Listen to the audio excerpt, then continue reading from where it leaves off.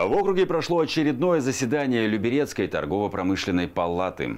Работая с предпринимателями, работая в сфере оказания мер поддержки, я очень, сталкиваюсь, я очень часто сталкиваюсь с ситуацией, что предприниматели не знают, как искать и как отслеживать меры поддержки.